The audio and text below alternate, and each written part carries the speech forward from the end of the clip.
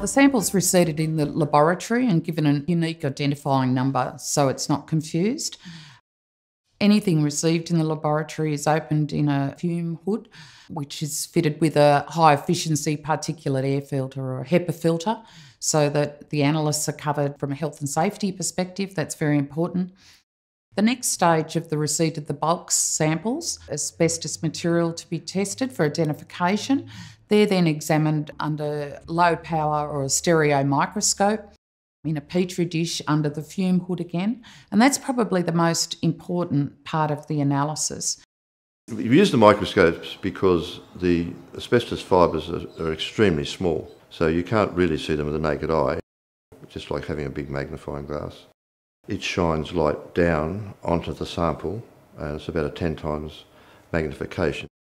We can then examine the material more closely and have a look to see if there are fibres there. And if there's fibres there, with experience we can almost certainly say that it's asbestos or it isn't asbestos and what type of asbestos. And there's three types of asbestos. There's chrysotile, which is white asbestos, amosite, which is brown asbestos, and crocidolite, which is blue asbestos. The most valuable part in the identification is a, an experience by cross-retrist that's going through the sample and having a look at it under the stereo microscope, and that you're looking at the whole sample. Samples can have layers. So, with our vinyl tiles, we might have a vinyl layer, then there might be a paper layer, or with some materials, there might be a bituminous layer. And so, you need to look through the whole sample and maybe take subsamples to identify each layer. Once we've looked at the fibre and we've got an idea of what it is, then we'll put it into a refractive index oil. We then take the fibre with the forceps and put the fibre onto the slide.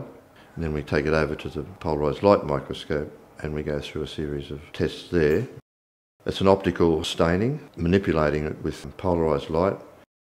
The idea of the polariser is to, it sets the light up in one direction, then it diffracts the light out and you get a series of colours, that dispersion staining going through a, a series of different steps, you can eliminate different types of fibre because they've all got slightly different coloured hues. You've then got a, an answer which you can put it straight into the database. It's formatted into a formal report.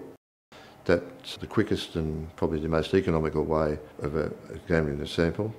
We can have asbestos probably identified in about five or ten minutes. With asbestos air monitoring, when the filters come in, it's very much the same process.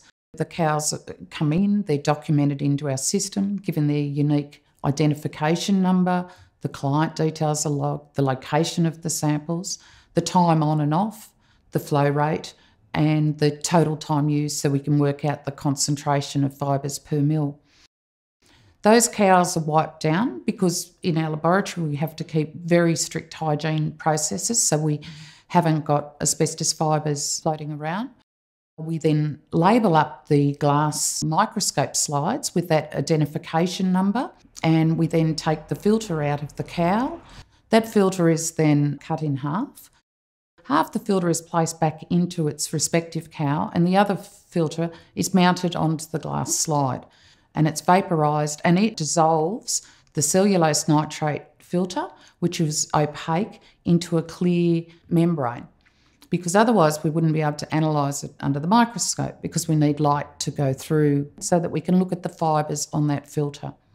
We then put triacetin onto a cover slip and mount it so that we've got the slide ready for viewing and preparation under the phase contrast microscope at 400 times magnification we count 100 fields of view. So we, we move the stage of the microscope across and we look at each field of view and count the number of respirable fibres in there.